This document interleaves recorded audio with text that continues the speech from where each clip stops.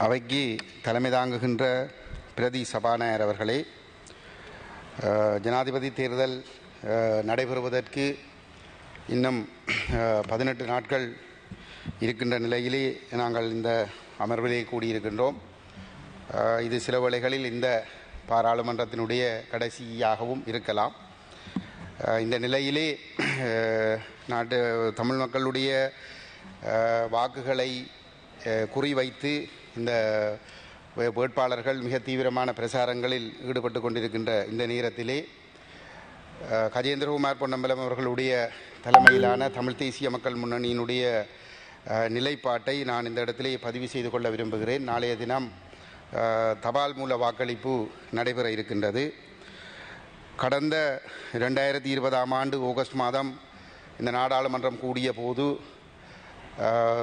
கௌரவ கஜேந்திரகுமார் பொன்னம்பலம் அவர்களுடைய தலைமையிலே நானும் இந்த நாடாளுமன்றத்தில் சத்தியபிரமாணம் செய்து கொண்ட பிற்பாடு இருந்து நாங்கள் தொடர்ச்சியாக இந்த அவையிலே வலியுறுத்தி வருகின்ற விடயம் எழுபத்தைந்து வருடங்களாக புரியோடி போயிருக்கிற இனப்பிரச்சினை தீர்ப்பதற்கு ஆக்கபூர்வமான நடவடிக்கைகளை இந்த அவையில் இருக்கக்கூடிய மூத்த அமைச்சர்கள் உறுப்பினர்கள் இந்த நாட்டினுடைய தலைவர்கள் எடுக்க வேண்டும் என்ற கருத்தை நாங்கள் தொடர்ச்சியாக வலியுறுத்தி வந்திருந்தோம். ஆனாலும் யாரும் அதை கருத்தில் எடுத்ததாக இல்லை. அந்த நிலையிலே ரெண்டாயிரத்தி இருபத்தி ரெண்டாம் ஆண்டிலே ஒரு பொருளாதார நெருக்கடி ஏற்பட்டு இந்த நாட்டு மக்கள் வீதியிலே இறங்கி ஆட்சியில் இருந்த ஜனாதிபதி கோட்டாபய ராஜபக்சவுக்கு எதிராகவும் அவருடைய அரசுக்கு எதிராகவும் போராடினார்கள். அதனுடைய விளைவாக அவர் அந்த பதவியை விட்டு வெளியேறினார். அதற்கு பிற்பாடு ரணில் விக்ரமசிங்க அவர்கள் ஜனாதிபதியாக பொறுப்பேற்றுக் கொண்டார். அவர் பொறுப்பேற்றுக் கொண்ட பிற்பாடு இந்த நாடாளுமன்றத்திலே தமிழ் முஸ்லீம் சமூகங்களை நோக்கி தான் இந்த இனப்பிரச்சினையை தீர்க்கப் போவதாகவும் அதற்கு ஒத்துழைக்க வேண்டும் என்றும் கேட்டிருந்தார். குறிப்பாக எங்களுடைய கட்சித் தலைவர் கஜேந்திரகுமார் பொன்னம்பலம் அவர்களுடைய பெயரை குறிப்பிட்டு தான் இனப்பிரச்சினையை தீர்க்கப் போவதாகவும் நீங்கள் அரவாசி தூரம் ஒத்துழைத்தால் கூட தான் இந்த பிரச்சினையை தீர்த்து விடுவதாகவும் தெரிவித்திருந்தார்.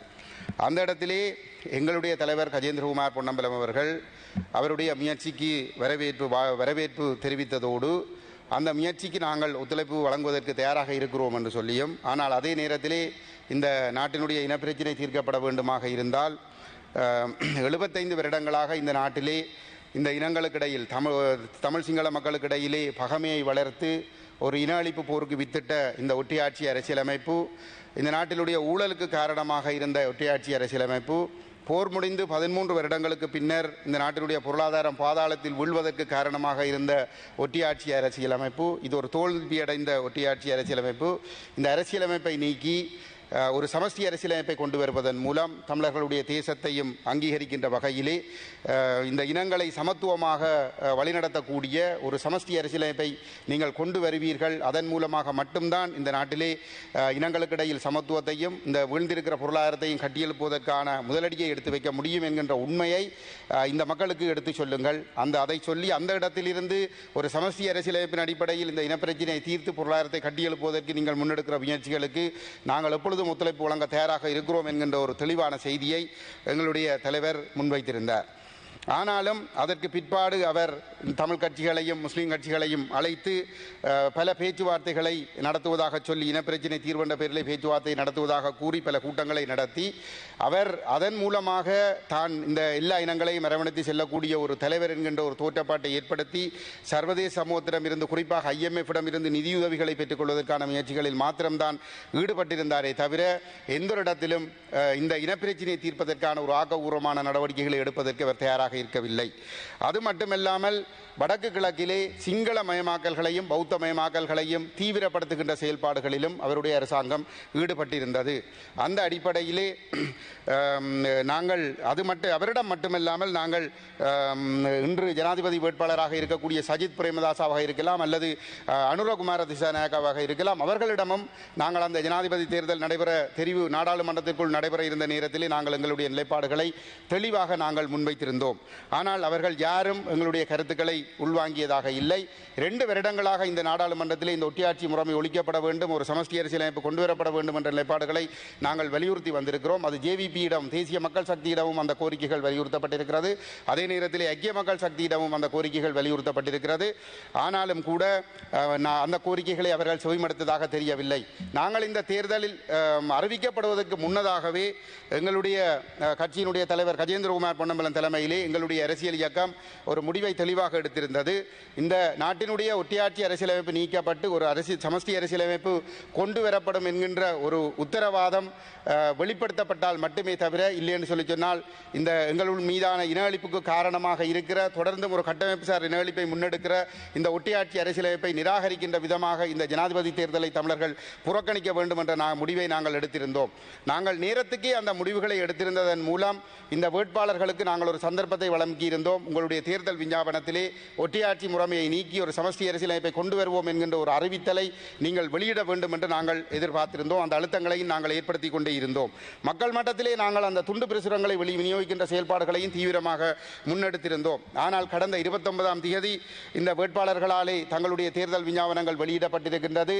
அந்த புதிய முந்தையிலே பழைய கல் என்பது போல இந்த 75 வருடங்களாக இந்த நாட்டினுடைய தோல்விக்கு காரணமான அதே ஒட்டியாட்சி அரசியலமைப்பையும் அதே பௌத்த மரசமதம் என்கின்ற நிலைப்பாட்டையும் பேணி பாதுகாப்பதான நிலைப்பாட்டோடு தான் இந்த தேர்தல் விஞ்ஞாபனங்கள் வெளியிடப்பட்டிருக்கிறது.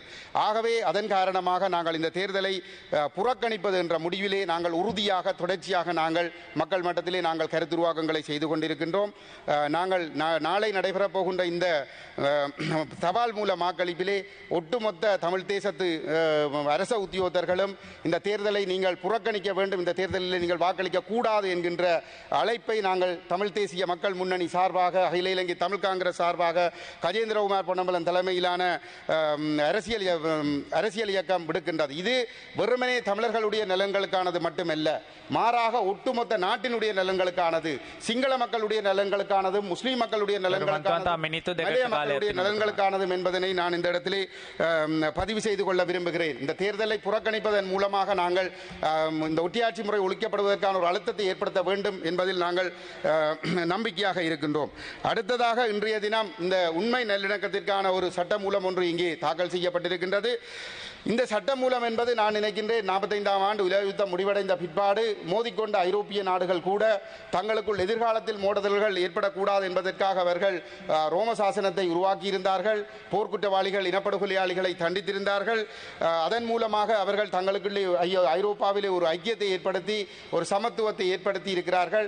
அதன் காரணமாக இலங்கை போன்ற ஒடுக்குமுறைக்குட்படுகின்ற நாடுகளில் இருந்து தப்பியோடுகின்ற மக்கள் அந்த நாடுகளோடு எந்த சம்பந்தமும் இல்லாதவர்கள் அந்த நாட்டிலே முழுமையான பாதுகாப்பை பெற்று முழுமையான பொருளாதார வச உரிமைகளை பெற்று அவர்கள் பாதுகாப்பாக வாழ்ந்து இந்த நாடுகளில் வாழுகின்ற தங்களுடைய உறவுகளுக்கும் பொருளாதார உதவிகளை அனுப்பக்கூடிய ஒரு சூழல் உருவாகி இருக்கிறது.